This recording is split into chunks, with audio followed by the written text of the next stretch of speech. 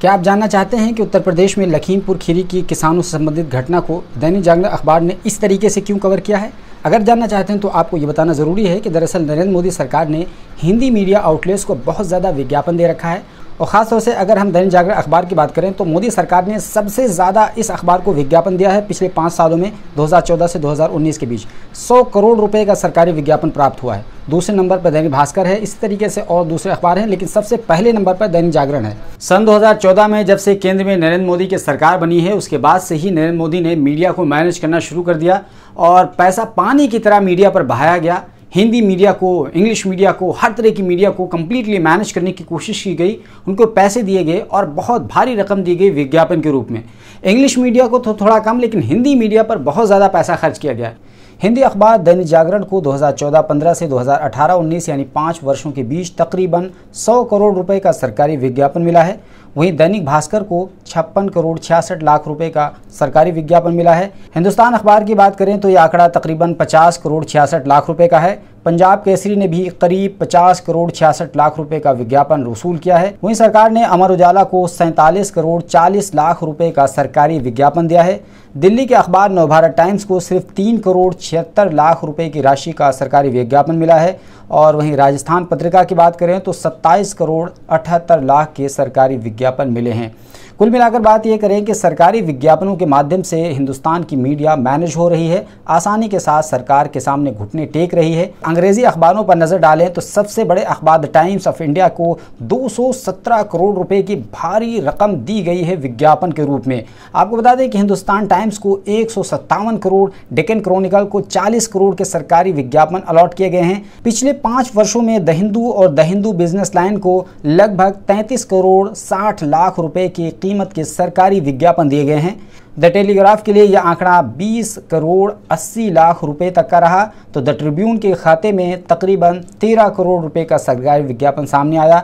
Deccan Herald ने 10 करोड़ 20 लाख रुपए और द इकोनॉमिक टाइम्स को 8 करोड़ 60 लाख रुपए। द इंडियन एक्सप्रेस को 26 लाख और द फाइनेंशियल एक्सप्रेस को 27 लाख की कीमत की राशि के विज्ञापन दिए गए हैं। अगर केंद्र की मोदी सरकार ने मीडिया पर इतनी बड़ी रकम खर्च की है तो उत्तर प्रदेश की योगी सरकार कहाँ पीछे रहने वाली थी?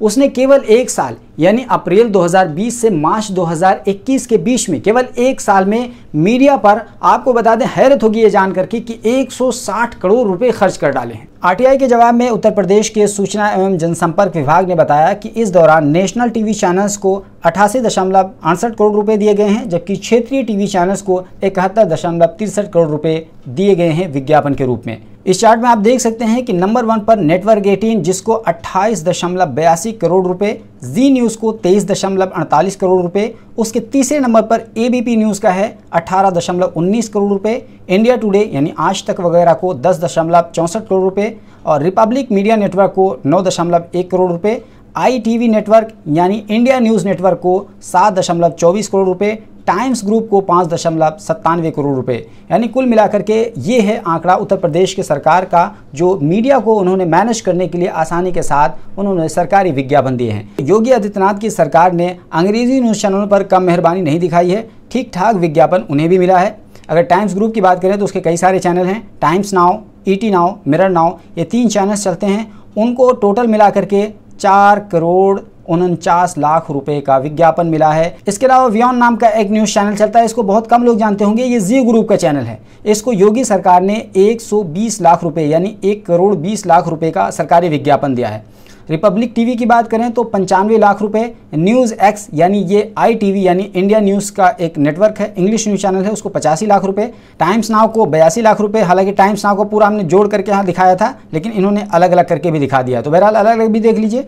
टाइम्स नाव को बयासी लाख रुपए सीएनएन न्यूज़ 18 को चौवन लाख इंडिया टुडे को उनचास लाख मिरर नाव को उनचास lakh India Ahead 18 lakh ET Now को 15 लाख। कुल मिलाकर ये कहें कि उत्तर प्रदेश की योगी सरकार ने अंग्रेज़ी न्यूज़ चैनल पर ज़्यादा मेहरबानी नहीं दिखाई है। हालाँकि हिंदी न्यूज़ चैनल पर अच्छा खासा मेहरबानी दिखाई है, उनको बहुत ज़्यादा पैसे दिए गए हैं।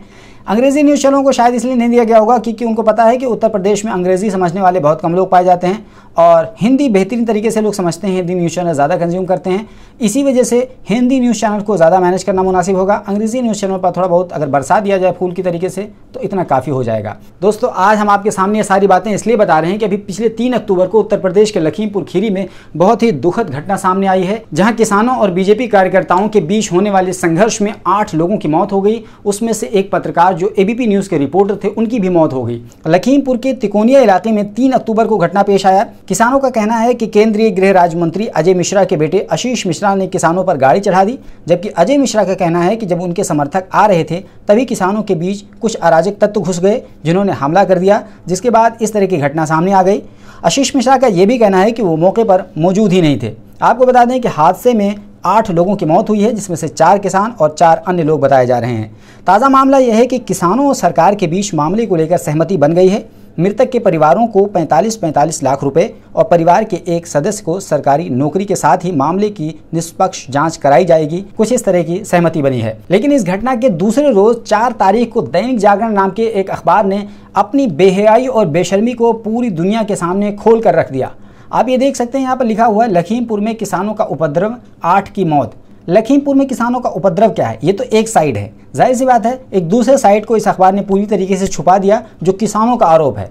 ये तो बीजेपी सरकार का जो किसानों पर आरोप है, ये वाला आरोप इन्होंने छाप दिया है और इसको पूरी तरीके से हेडलाइन बना करके फ्रंट पेज पे छाप दिया है। लेकिन जो किसानों का आरोप है बीजेपी के मंत्री पर और उनके बेटे पर, उसको पूरी तरीके से अखबार ने नजरअंदाज कर दिया। इसके अलावा यहाँ भी देखिए, दैनिक जागरण ने लिखा है, उत्तर प्रदेश में अराजक किसानों की उपद्रव छे की गई जान।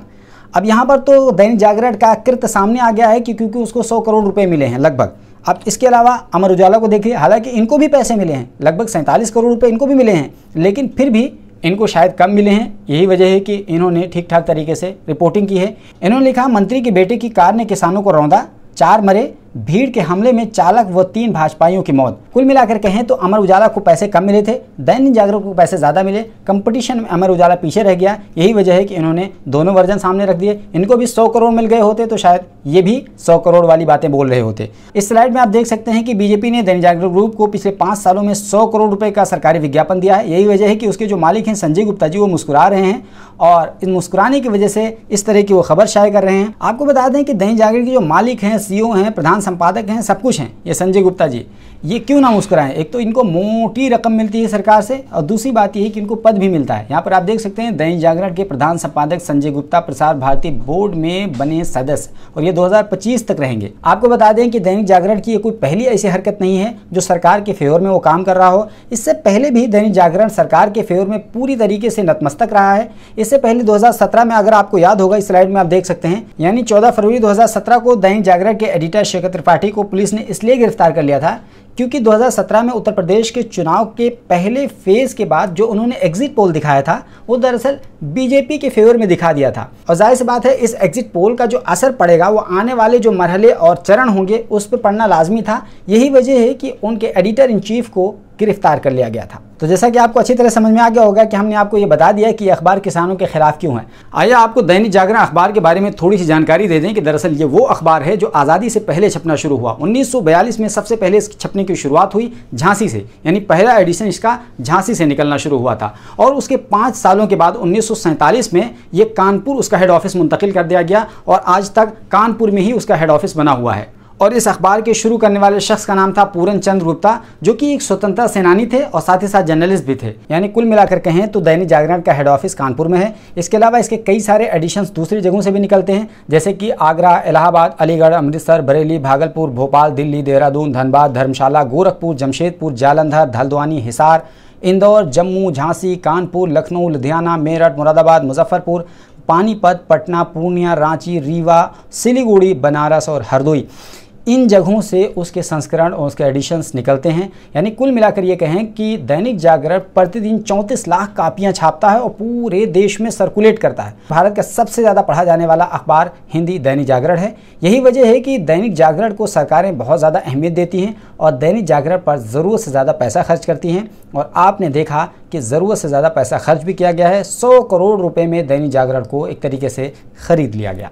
दोस्तों, अंत में एक बार और। लखीमपुर की घटना उत्तर प्रदेश में हुई है और उत्तर प्रदेश में बीजेपी की सरकार है और बीजेपी ने गोदी मीडिया को बहुत ज़्यादा खिलाया पिलाया है। तो जब इस घटना के बाद तमाम अपोजिशन के लीडर लखीमपुर जाने लगे तो गोदी मीडिया ने यह कहना शुरू कर दिया कि अपोजिशन इस पर सियासत कर रहा है। इस पर मुझे अफसोस इस बात का होता है कि अपोजिशन के जितने लोग हैं, सारे के सारे लोग राजनेता हैं। और नेता लोग नेतागिरी नहीं करेंगे तो क्या करेंगे? मीडिया का काम पत्रकारिता करना है और अगर पत्रकार पत्रकारिता नहीं करेगा तो फिर क्या करेगा? तो कुल मिलाकर ये कहें कि जिस तरीके से आपने पत्रकारिता करना छोड़ दिया है तो आप ये भी चाह रहे हैं कि जो अपोजिशन के लीडर्स हैं, यानी नेता हैं, वो नेतागिरी करना छोड़ दें। भैया, नेतागिरी कभी नहीं छूटेगी क्योंकि उनका पेशा है और पेशे से ही व्यक्ति की पहचान होती है तो उम्मीद करिए कि नेता नेतागिरी ही करेंगे। Alpha hospital and trauma centre, engineering college चौराहा, सीतापुर रोड, लखनऊ।